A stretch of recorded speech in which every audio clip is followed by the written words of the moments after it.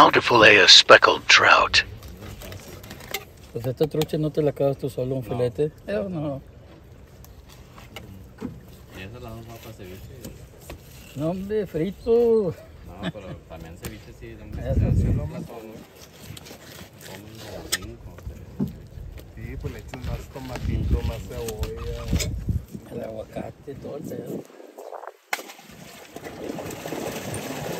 Las piranas six, seven,